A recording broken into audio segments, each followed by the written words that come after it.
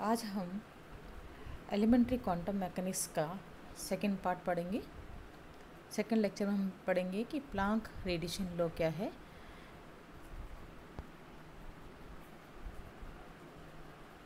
According to Planck black black body made up by many oscillators and each oscillators have the definite frequency and energy of each oscillator are not a continuous whereas in the form of discrete units, known as quanta, it is equal to the h nu और N H nu हम जानते हैं कि Planck Planck के according कृष्णिका जो है, कई दोलकों से मिलकर बनी होती है और प्रत्येक दोलक के अंदर एक पर्टिकुलर या डेफिनेट निश्चित आवर्ती होती है और उसका जो एनर्जी है प्रत्येक ऑसिलेटर की, एक कंटिन्यूस या सतत प्रक्रिया में नहीं निकल कर एक पैकेट्स या क्वांटा के रूप में निकलती है, जिसे हम कहते हैं क्वांटा कहते हैं, जिसका की मान एच न्यू और एच एन एच न्यू के बराबर होता है।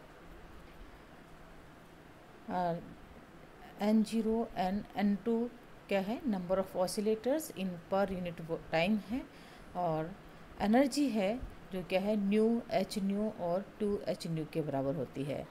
तो इस तरह से N is the total number of oscillator is equal to the N zero plus N one plus N two this is the equation number one अब हम देखते हैं कि यदि टोटल एनर्जी है according to Boltzmann Maxwell Boltzmann equation E R का मान जो है वो किसके बराबर है? N zero E minus E R upon K T के बराबर है। अब अगर हम इसका मान क्या करें? आर का मान समीकरण वन में रख दें तो एन आर इक्वल टू क्या हो जाएगा? N zero exponential minus H nu upon K T plus N zero E minus two N H nu upon K T and so on अगर number of molecules N zero हो तो क्या N zero is equal to क्या हो जाएगा? Exponential minus N H upon nu upon K T के बराबर होगा। या हम इसको, इस समीकरण तीन को इस तरह से लिख सकते हैं। N zero with in bracket one plus exponential minus H nu upon K T plus exponential minus two H nu upon K T and so on या इस समीकरण को हम इस प्रकार भी लिख सकते हैं।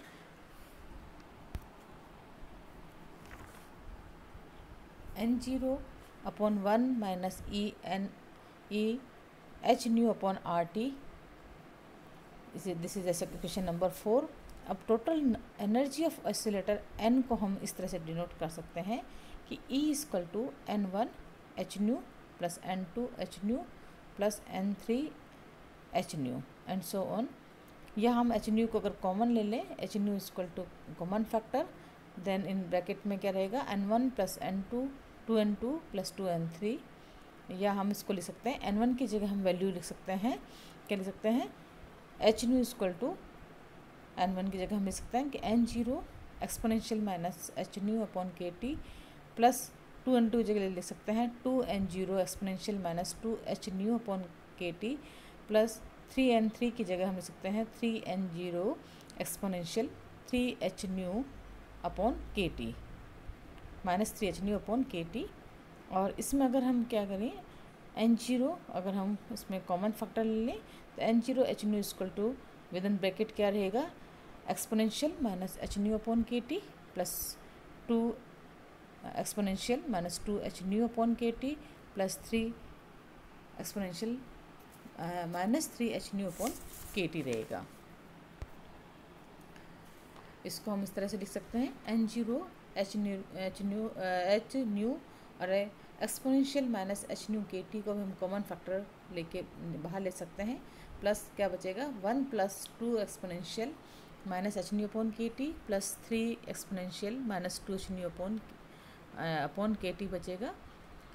यह हम इस इक्वेशन को इस तरह से लिख सकते हैं कि N zero H nu exponential minus H nu upon A T plus one plus two X plus three X square plus so on जहाँ एक्स का मान हम ये लिख सकते हैं कि exponential minus H nu upon K T के बराबर हो। या इस समीकरण को हम इस तरह से जनरलाइज कर सकते हैं। N zero H nu exponential minus H nu upon K T one minus X square इस तरह से टोटल जो एनर्जी है एनर्जी ऑफ़ द ऑसिलेटर है is not equal to the K T where is according to Planck Planck ने क्या बताया कि एच न्यू का मान क्या है? किसके is equal to K T के बराबर होता है? यानी E H nu upon K T minus one के बराबर होता है। अब हम इस चीज़ को देखेंगे फ़ोटो इलेक्ट्रिक इफ़ेक्ट को। नेक्स्ट है प्रकाश विद्युत प्रभाव। प्रकाश विद्युत प्रभाव क्या है कि प्रकाश की कोई भी किरण द्वारा धातु की सतह से इलेक्ट्रॉन का जो उत्सर्जन होता है, वो क्या कहलाता है? प्रकाश विद्युत प्रभाव कहलाता है। हम इसको इस तरह से एक एक्सपेरिमेंट से समझ सकते हैं कि हमने एक मेटल लिया है। मेटल पर अगर हम किसी भी प्रकाश को अगर हम आपते आप मतलब उसको रिफ्लेक्ट कराते हैं, आपतित कराते हैं तो उसमें क्या होती है? उसकी energy E equal to H nu के बराबर होती है और जिससे इलेक्ट्रॉन निकलता है, उसकी energy E equal to half M V square के बराबर होती है। जिससे हम इस एक्सपेरिमेंट से हम ये फॉलोइंग जो है अपने इसके कंक्लूज़न अपने कंक्लूड कर सकते हैं कि फ़र्स्ट के इमिटेड इलेक्ट्रॉन की गतिज ऊर्जा आपतित विकिरण की तीव्रता पर निर्भर नहीं करती है। एंड सेकंड कह सकते हैं कि विकिरण की तीव्रता विद्युतीय प्रभाव के वर्ग के समानुपाती होती है। एंड थर्ड इस पॉइंट विकिरणों की तीव्रता में वृद्धि से दोलन के आयाम में वृद्धि होती है। एंड फोर्थ धातु की सतह पर उपस्थित इलेक्ट्रॉन विद्युत क्षेत्र की दिशा में दोलन करते हैं। और तीव्रता बढ़ने के साथ साथ दोलन भी क्या होते हैं? ज़्यादा हो जाते हैं। और यही दोलन क्या करते हैं? धातु की सतह से इलेक्ट्रॉन को इमिट करते हैं या बाहर निकाल देते हैं। तो फ़ोटो इलेक्ट्रिक इफ़ेक्ट को क्वांटम मैकेनिक्स के आधार पर हम इस तरह समझ सकते हैं कि किसी भी आवर्ती वाले प्रकाश का उत्सर्जन संभव नहीं है, बल्कि इसके लिए प्रकाश की एक न्यूनतम जो फ्रिक्वेंसी है, आवर्ती है, वो होनी आवश्यक है। इस फ्रिक्वेंसी को हम थ्रेशोल्ड फ्रिक्वेंसी फ्रिक्वेंसी कहते हैं। ये धातु की प्रकृति पर निर्भर करती है। इसको इस तरह हम समझा सकते हैं कि माना एक धातु से इलेक्ट्रॉन को उत्सर्जित करने के लिए उसकी थ्रेशोल्ड एनर्जी का मान न्यू ज़ीरो है। अब अकॉर्डिंग टू क्वांटम मैकेनिक्स यदि न्यू ज़ीरो फ्रिक्वेंसी वाला फोटोन धातु की किसी भी धातु के किसी इलेक्ट्रॉन से टकराएगा तो संपूर्ण ऊर्जा उस इलेक्ट्रॉन को N H H nu zero के रूप में दे देगा और इलेक्ट्रॉन ऊर्जा ग्रहण करके क्या करेगा? उत्सर्जित हो जाएगा। और इस प्रकार एक फोटोन धातु की सतह से एक इलेक्ट्रॉन को उत्सर्जित करने में क्या करता है? निकाल सकता है, उत्सर्जित कर सकता है।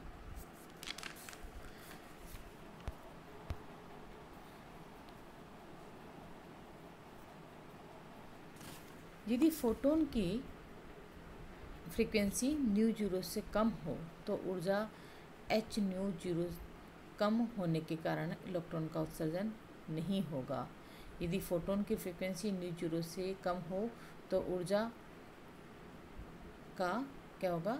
उस इलेक्ट्रॉन का उत्सर्जन नहीं होगा। यदि फोटोन की फ्रीक्वेंसी न्यू धातु की दहलीज ऊर्जा से अधिक हो तो अतिरिक्त ऊर्जा के कारण इलेक्ट्रॉन उत्सर्जन के साथ उसकी गतिज ऊर्जा का मान भी क्या होगा? बढ़ जाएगा। इस तरह हम इस तरह क्वेश्चन वन से इसको समझा सकते हैं कि H nu equal to five plus half M V square whereas five is the threshold energy of the metal या हम कह सकते हैं इसको कार्यफलन कहा जाता है वक फ़ंक्शन कहा जाता है, तथा हाफ़ एम वी स्क्वेयर उत्सर्जित इलेक्ट्रॉन की गतिज ऊर्जा है। तो दहलीज आवर्ती का फोटोन क्या है? प्रयुक्त करेंगी तो क्या होगा? H nu zero equal to five plus zero के बराबर होगा। यहाँ हम ले सकते हैं five equal to H nu zero the value of five put in the equation number one H nu equal to H nu zero plus half M V square या हम ले सकते हैं इसको। Half M V square equal to H is common factor nu minus nu zero now equation four is photo electric equation कहलाती है। यदि आपतित फोटोन की ऊर्जा एच न्यू इलेक्ट्रॉन को धातु सतह से बाहर निकालने की ऊर्जा एच न्यू ज़ीरो से कम हो तो अगेन हम कहेंगे कि उसमें इलेक्ट्रॉन का उत्सर्जन संभव नहीं होगा। और समीकरण चार को हम इसको, जो एक्सपेरिमेंटली मुलिकन द्वारा वेरीफाई किया गया था कि अकॉर्डिंग टू मुलिकन, यदि ग्राफ प्लॉट करें, इसके बीच काइनेटिक एनर्जी ऑफ़ इलेक्ट्रॉन और फ्रीक्वेंसी के बीच ग्राफ प्लॉट करते हैं then we get the straight line and straight line को अगर हम बढ़ाएँ एक्स एक्सिस पर, जहाँ वो काटती है, वहाँ frequency nu zero five upon h के बराबर होगा, यानी ये फ्रीक्वेंसी क्या होगी? डेहली थ्रेशोल्ड फ्रीक्वेंसी के बराबर होगी which gives the value of the threshold frequency and the slope of the line is equal to the Planck constant h and the value of h is six point five five into ten पर minus two erg पर second and which is क्या है? Similar to the calculated by the black body radiation 6.62 into minus 27 arc per second. अब हम एक, इससे को हम एक छोटे से न्यूमेरिकल से भी समझ सकते हैं कि 20 वाट के स्रोत से उत्सर्जित प्रकाश का तरंग दैर्ध्य 4000 हज़ार एम स्ट्रॉन्ग है। तो इस प्रकाश से उत्सर्जित फोटोन की संख्या को ज्ञात कीजिए। तो हमें इसमें न्यूमेरिकल में क्या दे रखा है? आपको वेवलेंथ दे रखा है और इसमें आपको 20 वाट के स्रोत से उत्सर्जित प्रकाश का मान दे रखा है। तो आपको निकालना है फोटोन की संख्या। तो एनर्जी फोटोन का हम जानते हैं किसके बराबर होगा? H nu is equal to h nu के बराबर है। या हम लिख सकते हैं न्यू इसकल टू क्या है? सी अपॉन लेमडा और हम जानते हैं कि n s c upon lambda is equal to किसके बराबर है? एनर्जी आपको देखिए ट्वेंटी वाट के बराबर है। तो ट्वेंटी को और अपने को कैलकुलेट करना है। क्या करना है इसमें? फोटोन की संख्या एन का मान कैलकुलेट करना है। तो twenty multiply lambda upon h c, twenty multiply अपने लेमडा का मान फोर थाउज़ेंड मल्टीप्लाई टेन पर माइनस टेन और एच का मान six point six two into ten पर माइनस थर्टी फोर। और velocity c is equal to three into ten power eight then the value of the number of photon will equal to the 4.03 into 10 power 19 पर second तो इस तरह से हम इस मेरिकल को सॉल्व कर सकते हैं। एक दूसरी प्रॉब्लम को डिस्कस करते हैं कि किसी धातु की प्रकाश विद्युत दहलीज तरंग दैर्ध्य 2000 थाउज़ेंड एमस्ट्रॉन्ग है। यदि 1500 सौ एमस्ट्रॉन्ग की तरंग दैर्ध्य वाली विकिरण उस धातु पर आपतित हो जा, होती हो तो उत्सर्जन इलेक्ट्रॉन की ऊर्जा कितनी होगी? तो हम जानते हैं e is equal to half m v square के बराबर है। और इसको हम लिख सकते हैं कि H equal to nu minus nu zero या हम लिख सकते हैं S C equal to one upon lambda minus one minus one upon lambda not के बराबर है। या हम लिख सकते हैं इसको S C equal to lambda not minus lambda upon lambda lambda not अगर हम एच का मान six point six two minus twenty seven रख देंगे। एच की जगह सी का मान three into ten power ten यहाँ सेंटीमीटर में रख रहे हैं और लेमडा नॉट का मान टू थाउज़ेंड लेमडा का मान fifteen hundred ten to power minus eight और इसका अगेन इसका लेमडा का मान टू थाउज़ेंड और इसका लेमडा नोट का fifteen thousand fifteen hundred twenty पर माइनस एट इसको अगर हम सॉल्व करते हैं तो जो उत्सर्जित इलेक्ट्रॉन की ऊर्जा का मान प्राप्त होता है, वो approximate two point zero seven electro electron volt के बराबर होता है।